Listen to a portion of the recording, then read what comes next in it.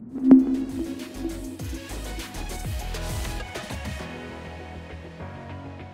Hey, this is Spencer Welch from Zamp Solar, and I want to run you through my Obsidian Dometic charging kit. I utilize the CFX35 refrigerator that's charged up by the Dometic PLB40 battery pack. On the back side is a solar input utilizing the Anderson connection, which comes with our Obsidian charging kit. The Dometic PLB40 will provide enough energy for this refrigerator to get an entire day of cooling but I found that when connecting a Zamp solar panel to the PLB40, I can keep this thing cold for weeks.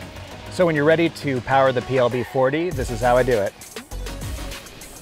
After deploying the solar panel, simply grab the lead and connect it to the back of the PLB40 on the APP connector, and then we have solar input. Now that our Zamp solar panel is providing energy to our PLB40, our refrigerator is gonna stay cold for the whole weekend.